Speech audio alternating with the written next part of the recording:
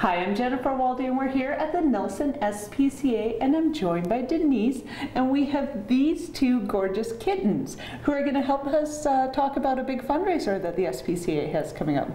That's right. It's our eighth annual Spaghetti No Balls Gala event at the Prestige Lakeside Resort. Now this um, is happening on November 12th. Tickets are $50 and we have an amazing selection of silent auction items and prizes this year. So the menu has been tried and tested by our volunteers, and I think this is going to be bigger than ever. Where does the money go? I mean, with something like spaghetti and no balls, I'm pretty sure it goes to uh, helping out the animals, correct? Exactly, helping out the animals and their owners, because as we know, spaying and neutering can be expensive. So a lot of the proceeds of this um, go to helping people spay and neuter their animals. If you bring in a copy of your income tax, and if you make below a certain amount, then we can help subsidize that for you, so you can make that happen happen. So you can come down to the SPCA and help these cuties and get them all spayed and neutered. And now I'll head over to Blaine Evans in Cranbrook.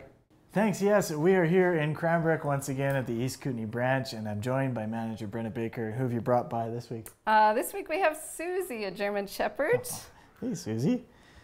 She's a big girl, isn't she? Yeah, she's a very big dog. So. And so, what's her story? How did she come to be uh, here? She actually came to us as a stray from the Fort Steele area, and uh, no one claimed her. So she's beautiful. Mm -hmm. uh, mm-hmm. we figure she's around four years old, but we don't know for sure. Um, also, she was spayed already, so that's why we thought for sure she's owned by somebody, and, and she's in really good shape. Um, but no one came forward to claim her, so now we've put her up for adoption. So. And, and how is she getting along with the other pets here? Um, she actually needs to go to a home where there's no other dogs or cats. Okay. She does, um, she is dominant, so uh, there may be the odd dog that she gets along with, but so far we haven't found that dog. So um, she loves people.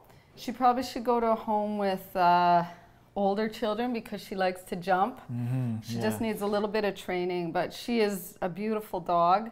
Um, but again, just a home with no dogs or cats and a home with adults or older children. Perfect. Well, if you'd like more information on Susie here or any of the pets that we feature on Adopt a Pet, as always, you can head over to the SPCA's website, which is spca.bc.ca slash adopt. And Brenna, thanks so much for bringing Susie by this week. Thank you.